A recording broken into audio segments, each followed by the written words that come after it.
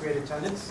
Um, Today, Professor Zeilberger is going to be speaking on rationality of numbers, I guess, or maybe people. I don't know. Uh, And uh, also, I wanted to mention that next week, uh, Professor Kiesling is going to be speaking on Smale's seventh problem, so I guess that'll have a a big uh, geometric flavor. So for any people interested in geometry, and even if you're not, you should come, and and it's going to be a good talk and we're expecting Professor Beck to speak the week after that. Uh, also, I wanted to mention, although it's not um, uh, this seminar, the number theory seminar tomorrow, our own Pedro uh, Pontes is going to be speaking on the Bateman-Horn conjecture, which is uh, actually a hugely important conjecture which um, will imply the uh, uh, asymptotic formula for twin primes and, and things like that. And, and he's, going to give us the almost proof of it, I guess. So that'll be exciting to, to hear. So encourage everyone to come to that too. So, and we've got uh, cookies for everyone over here, so please help yourself. Thank you. And thank you for John for doing such a good job in organizing. And hopefully this seminar will revive and have decent attendance continue. Uh, so the emphasis now in this new incarnation of the seminar is open problems. Uh, once a theorem is proven, it's no longer interested, interesting. Somebody has proved it, it's really dead. So open problems is what's interesting. So we want to emphasize in this seminar open problems. And I will talk about some of my open problems. My favorite open problems are those that are easy to state, but impossible to prove. Hopefully not impossible, impossible, because you have the dream of one day proving them. Uh, but So I chose as my topic uh, irrationality. And irrationality, as John Nansen has several meanings. In game theory, we talk about rational agents, people who behave rationally. And in economics, people realized about 40 years ago that the standard model of economics, the assumption that people are rational, people are smart, they do the best behavior, is completely wrong. Most humans are not rational. And there's a whole thing in economics called bounded rationality or even non-rationality, trying to model real behavior of real people who are not necessarily the perfect agent of economics. That's why most of economics is completely nonsense, interesting nonsense, but not relevant to the real world. And indeed, irrationality, first thought, was the same root as imaginary. People thought it was crazy. And indeed, a long, long time ago, in ancient Greeks, uh, Pythagoras had a religion. He was the prophet the, of a religion of numbers. Everything is numbers. And by numbers, he meant integers. So he knew that sometimes we have to divide. So for example, 2 over 3 is not an integer, but still okay. So everything is either an integer or a ratio of integers. And then there was a big crisis. Some wise guy called Hippasus realized that the square root of 2 cannot be written as a ratio of two integers. There is no way in which you can write the square root of 2 as a ratio of two integers. And I'm sure you all know the proof. Uh, the, but uh, the proof uh, I prepared, oops, there's a beautiful poem made.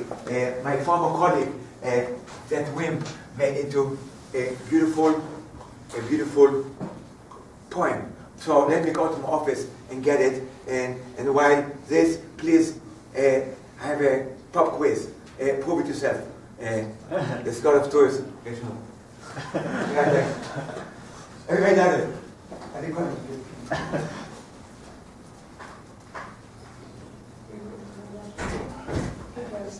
I think one. Can't we use for not so So it's less than? Yeah, yeah, yeah. no, no, Wait, no. that, that's the entry.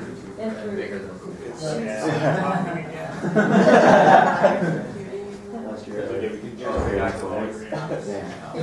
They want to call them, square root of five is irrational. So the student went through all the steps and then concluded at the end, you know, copying line for line, and concluded at the end, square root of two is irrational. And so that's a, a beautiful poem that I want to give out. Uh, the, the proof, the classical proof of root of two, that I'm sure you know, uh, has been uh, has been made into a poem. So it's a two-column uh, poem, and let me read it. The square root of two is rational, to be done in a white room. It's kind of white. So it's two columns. So let me first read the left column. By contradiction, assume that the square root of 2 equals m over n. And n have no common factors. So 2 equals m squared over n squared. Or 2m squared equals m squared. This is the mathematical column. And then the, point, the poetry column is on the, uh, on the right side. An n person stands beneath an m person. They are not both carrying two oranges. If so, cancel the oranges. From here on, you must accept anyone either carries two oranges or else makes magic. If M is a magician, S square is fruit free, so M equals uh, 2p, and so on. And then it goes on. Now M and N retire. They were unwell. At dawn, dressed as flies, they were forced to undergo a mock execution. In fact, they balanced each other badly, long hair tangling their feet. Question them. They evade and shift their hands, hidden behind their backs, burn with the scent of rind. See, see, see! The true wizard is, but cannot be seen in this white room. Pythagoras, his spirit holds sway. So this was the big, big trauma of the Pythagorean. And Hippasos was not very nice. Uh, he gave it away to the outside world. And Eh, they were very mad at him. And according to some versions, he was excommunicated. Other versions, uh, he was drowned. Eh, but uh, because he gave away the secret. Because they were sure that it's only an apparent paradox. And very soon they resolve it. So it was premature of them to, of him to give it away. But in my philosophy, he, Pythagoras was right after all. The statement, the square root of 2 is irrational, uh, is wrong. Everything is a rational number. But the proof, the square root of 2 does not exist. So the classical proof that the square root of 2 is irrational, in my philosophy, the square root of 2 does not exist. But you can justify it. And by the way, the usual proof is not my favorite proof. I have a much better proof. It was mine, but it's much better. Yeah, you go. So, if you simplify, we really have to prove that it's impossible to solve the following Diophantine equation. Lots of very difficult problems in number theory are Diophantine equations. So we really want to prove that there are no solutions in integers of these Diophantine equations. So the usual proof uh, is in this point, I'm sure you know, I won't repeat it. But it uses the multiplicative structure of integers. So a much better, much better proof is a reduction formula.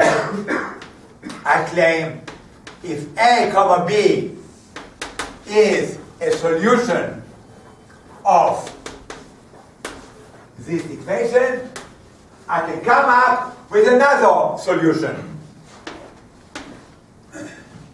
2b minus a, comma a minus b. So that's a lemma.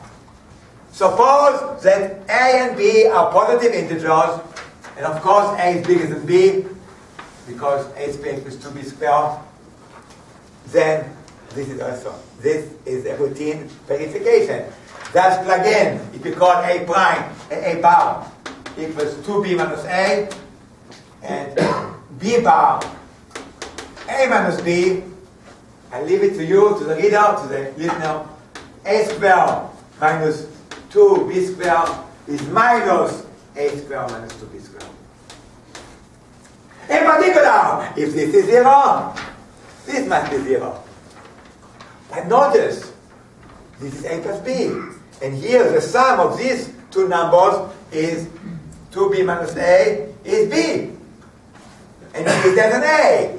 So if you define the size of a pair to be the sum of the two positive integers for everything, suppose I would have had a solution, I would come up with a smaller solution whose sum is less. And eventually, you go to 2 comma 1.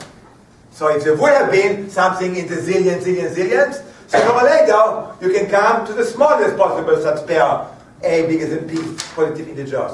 And now plug it in. 4 equals 2. No, QED. So this is a much better proof, in my opinion. Because it indicates how I'm sure many other Diophantine equations would one day be solved and only be done with something like this. Not so simple. For example, theorem. Andrew Wiles had to sit in the attic for seven years trying to prove uh, the so-called Fermat's theorem with the not solution of this Diophantine equation. So here we have two uh, integers, and here we have three, uh, four integers, n bigger than 2. Prove that they do not exist positive integers a, b, and c, and n bigger than 2 substances. I'm sure that there exists a simple, routinely provable reduction formula. You define f of NA, B, and C. Define this to be f of NA, B, and C. And you find for such a hypothetical solution, there is another solution, A prime, B prime, C prime, N prime. And somehow you have to use that N is bigger than 2, or else you get in big trouble. Uh, so and so far nobody found it. But now with computers, you can do a systematic search for such reduction formula, and then you would have at least a conceptual one-end proof of Fermat's theorem. And I'm sure that all this heavy machinery, the Langlands program, and all this is very nice, uh, but you don't really need it. It's a big red herring, and one day uh, there will be Because now there is a new game in town. We have computers computers are so powerful and there's so much that we can do with computers. Classical number theory and all mathematics have been developed without computers. They did a very good job. It's amazing what they did without computers. I'm very, very impressed. Uh, Gauss and Euler and Ramanujan are really terrific, terrific guys. It's amazing what they did. It's amazing how the ancient Egyptians built these beautiful pyramids without uh, modern technology. Uh, it is very, very impressive. But still, the pyramids in Egypt would have been much, much higher if they had uh, today's uh, technology. So what we have to do is back backtrack. Go back to the 17th century, look at what they did, and do it over with computers. And today, I want to outline my approach for being famous. So I mentioned in the abstract that e plus pi is not known to be a, a rational or not. It's an open problem whether e plus pi is irrational. This is stupid. Whoever says that it's not known whether e pi is rational is very, very stupid. e pi is irrational. Why should it be? Why shouldn't it? There's no reason why it should be. So I have a probabilistic proof that e plus pi and e times pi and many, many other things. And another big open problem is gamma, Euler's constant. Let me remind you Euler's constant. Uh, if you have the famous harmonic series, as you know, it diverges.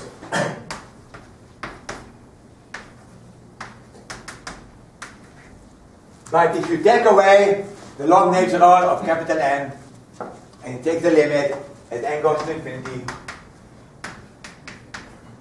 it's not the best way to, compute, to compute in a computer. As you know, this is very, very slowly convergent. But if you do it patient enough, you get.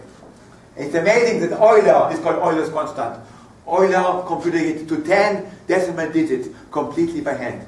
Because he invented for this purpose mostly is the Euler-Maclaurin formula. And with Euler-Maclaurin formula, it's amazing how he was able to compute it to 10 decimal digits. Today, we can easily compute it to 10 million uh, digits. And uh, nobody can prove that this. But why are the must they all be irrational? Because how many rational numbers are there? Out of zero. They're countable. How many real numbers are there? Alex. So this is a very, very, very small zero. So the probability that if we take a random real number and uh, and that it be rational is so small, so probability proof. So this is why it's a stupid question, because it's obviously true.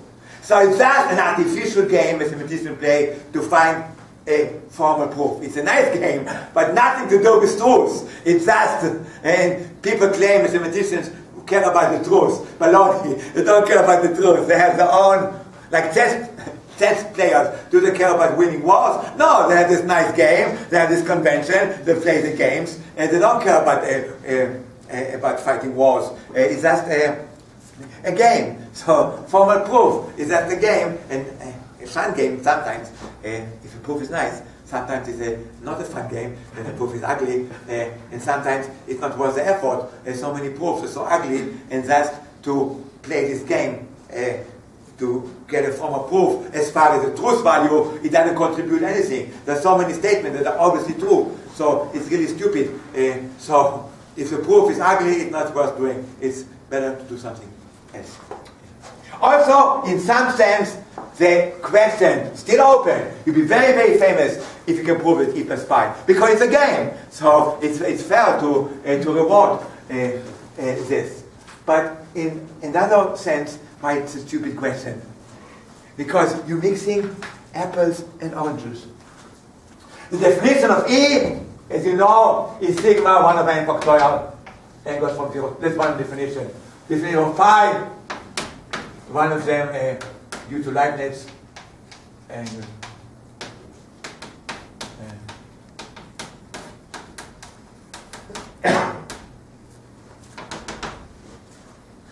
These infinite series have nothing to do with the notion of ratio. So uh, it's really mixing apples and oranges. Uh, and also the more general transcend, transcendence problem, where there exists algebraic equation, also is completely. So in some sense, these problems are really artificial. First, they're obviously true. So as far as knowing the truth is completely useless. And also, from a conceptual point of view, it's a stupid question. But it's still challenging because it's so hard. And even though this problem, this fact is obviously true, and it's a stupid artificial question, I still love to prove it. Because I'm vain, I love to be famous, and, and that's my best hope. to give an hypothesis, my probability of proving it is 10 to the minus, maybe googol. this I give my probability 10 to the minus 20. Still small, but much smaller probability of proving the Riemann hypothesis. So let me tell you my plan, and uh, you're, you're welcome to try it on your own if you promise to put me as a collaborator, uh, as a co-author, or else I'll be very, very mad at you. How is my plan to prove that e plus pi is irrational? The problem is, you should not be greedy. You should not only focus on one constant at a time. Chemists discovered something called combinatorial chemistry. the pharmaceutical industry. They thus take lots of compounds and find all the combinations. Most of the time they get something useless, but once in a while you get a cure to cancer, and then you get a Nobel Prize or get very, very rich. So I like to propose combinatorial uh, number theory, not in the usual sense, but in the combinatorial chemistry sense. You'll be also moderately famous if you can prove e plus 3 pi is irrational. Or e over pi. So have a database with billions of entries with the decimal extension of all these numbers one way. And then take things that are obviously a priori irrational. And one way of generating obviously uh, irrational numbers is continued fractions. So uh, 200 years after Pythagoras came a guy called Euclid. Euclid did lots of harm. He founded the axiomatic method that, in my humble opinion, ruined mathematics. It was a dogma of formal proof, of axioms, of deduction. It made deduct deductive science. Luckily, India and Babylonian and China did not influence right away. So they continued as an empirical science.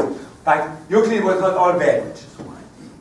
One good thing Euclid did is the Euclidean algorithm. So the Euclidean algorithm, as I'm sure you know, is to find the greatest common divisor of two integers, m and n. And how do you do it? You divide m by n. And you have a remainder, r. And you keep doing it. And if you do it and have the record, later, sooner or later, naturally, you can express every fraction as a so-called continued fraction. So continuous fractions fraction. Let's do an example. So we look at the integer, so it's 1 plus 2 thirds. That's less than 1. So it's equals 1 plus 1 over 3 over 2. And then you keep doing the Euclidean algorithm. So you have the continuous fraction. So every fraction, every rational number, every constant of integers could be written as a finite continued fraction. And the algorithm implies, because it gets smaller and smaller things, uh, it's part of the algorithm, it's an easy exercise, that if it's a finite fraction, if it's a, a rational number, it has a finite continued fraction. By the way, simple continued fraction. The, the numerator always has to be uh, to be one. So it's a simple Conversely, if you have an infinite continued fraction, it's a priori irrational. Because if it have been a rational number, it would have had a finite continued fraction. So here is how, a much better way, even better proof. So so far I mentioned two proofs of storage two. I have yet another better one. Go to Maple and convert it to floating point. And Maple had the command, convert, convert, uh, blah blah blah, to confrac. That's the command. So all you have to do, first you set digits. The number of decimal digits if you want. So it's good to do it big, 100. Then you have the default is 10. Then you do evalf. A valve. And you get 1.414.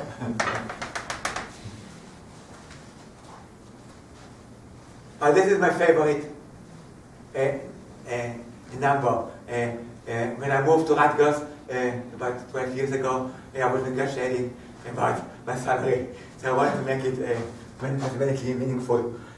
so I asked for 141,400. but the dean said that uh, they have a discrete scale and you cannot match exactly, uh, but he got close. but uh, he got less and, and, and lower part not up. Not much more in this case, but still. So like. Anyway, go on. What about periodic uh, continuous fractions? They're also infinitely long, no? but Yeah, yeah, it's going to be periodic. Exactly. Yeah. So, uh, yeah, right, Michael. Uh, let me do it. So if you go to Maple, you get the following answer. Uh, in 1 plus 1 over 2 plus 1 over 2. So in Maple notation, it tells you 2, 2, 2, 2, 2, 2, 2, 2, 1, sorry, sorry, 1. 2, 2, 2. So here's another proof. You go to Maple and you scare at the you stare, sorry, you stare at the screen and you detect the pattern. And even uh, Michael, uh, for your, uh, even Michael can detect the pattern. One, two, two, two, two, two. Sorry, just kidding. you can detect much more comical patterns. So you define it. It's a conjecture. This is a shorthand for this. So it's, it's more convenient to write. So then it's a lemma. Of course, by definition, because an infinite continuous fraction, it's a priori irrational. But you still have to prove it. It's a regulator. Maple computers cannot prove things. They can just indicate give conjecture uh, for the conventional reason. So in this case, uh, let's uh, let's call y equals square root of two minus one.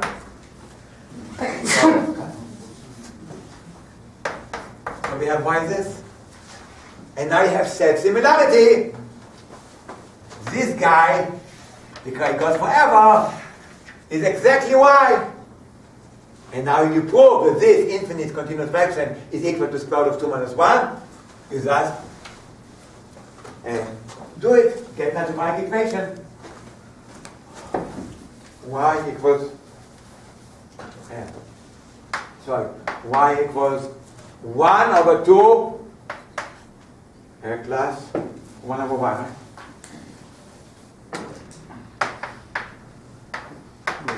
And of course it's positive. Plus one. Oh, sorry. I The messed circle there is, is a little bit uh, misplaced. Sorry, sorry. Uh, you have to include the one there. Yeah, sorry, sorry. That's okay? I think so. Yeah. So sorry. No, Yeah, this is why. Yeah. So why is it? The circle just, can't just include the one over You the change circle. one half plus, and then the circle goes with one over Okay. two and so on. Yeah, yeah, right. Okay. okay, exercise. you get an algebraic equation. You get an algebraic equation. You can solve it, and you have a formal proof that y equals square to minus one, and hence x is square root of two. And you know another solid proof today that the square root of two is irrational. So we can go backwards. Jacobi said one must always invert. So it's very, very hard to shoot target shooting as somebody something far away to a target. It's much better way to first shoot and then draw the bullseye. So this is the approach that you can try to do. So why stop here? You can go and do something much more complicated. One, three, five, three. Anything for periodic, as Michael said. A priori, define this. You know it's irrational. Then you get a more complicated algebraic equation, and then you can prove that it. But that's already known stuff, old stuff. Uh, it goes back to Legendre. Uh, the, if it's periodic continuous fraction, it's obviously a quadratic irrationality. But going backward is a bit more difficult, but it's a classical theorem of Legendre. So you can be, you cannot be famous by doing it with only periodic. But here is another big problem. Another proof, a new proof